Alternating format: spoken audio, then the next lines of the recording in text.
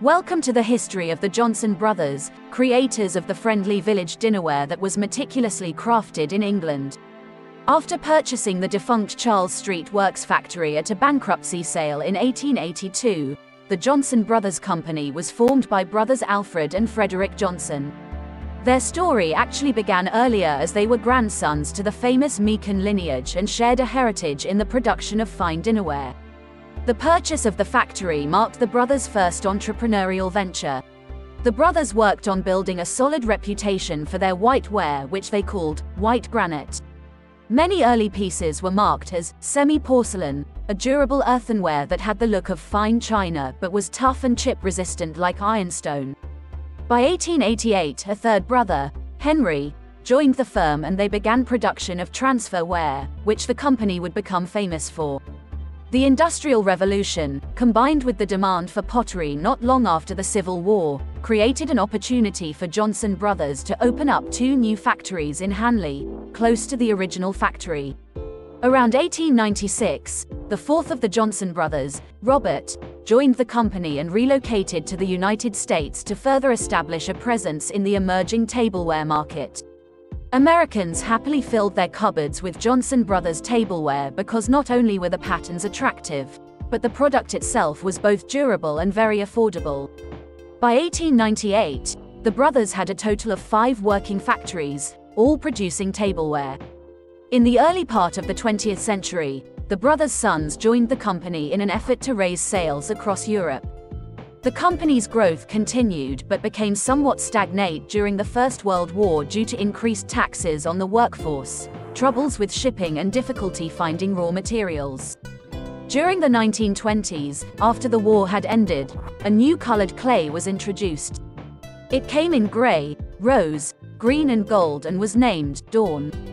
The Johnson brothers resumed their pre-war production rate. By the end of the decade, Several of the Johnsons' grandsons had also joined the firm and their tableware was exported throughout the British Empire.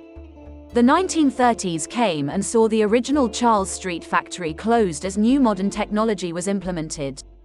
Firing was executed by the use of electricity in new electric tunnel kilns, rather than coal which had been used in the bottle oven kilns. This led to better quality products, lower prices and better working conditions by far. When the Second World War came, production nearly came to a complete halt. Fortunately, sporadic shipments to the United States helped keep the company afloat. The damage caused by war along with a need for increased productivity and facilities required an enormous overhaul of equipment and facilities. Plants in England, Australia and Canada were purchased for the purpose of decorating, glazing and firing of pieces. Johnson brothers gained royal warrants from Queen Elizabeth II and the Queen Mother.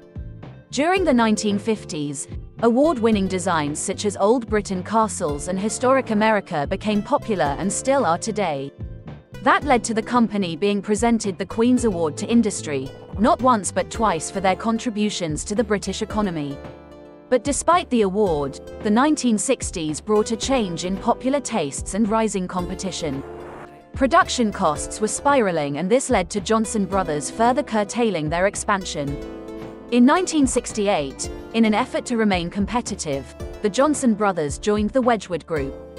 Over the following years, some popular patterns were produced including the 1981 introduction of the extremely popular Eternal Beau. Unfortunately, none were enough to prevent the Hanley pottery from eventually closing and being demolished in 1995. At the same time, Johnson Brothers reviewed the traditional lines and decided to reduce the number of patterns they produced. In 2000, the tableware division was moved temporarily to the J&G Meakin Eagle Pottery Works. In 2003, Johnson Brothers products ceased to be manufactured in Britain and the process was transferred to China, sadly bringing the end to an era. The Eagle Pottery Works were demolished in 2005. If you wish to purchase the dinnerware shown in this video, visit www.spectralight.com forward slash village. Do you own any Johnson Brothers dinnerware? Which patterns do you own? Please let us know with a comment below. Also, please like this video if you learned something new or enjoy Johnson Brothers dinnerware. Please subscribe to our YouTube channel and click the bell icon to be notified of future videos. Please enjoy the music and remaining photographs during the final minute of this video. Thanks for watching.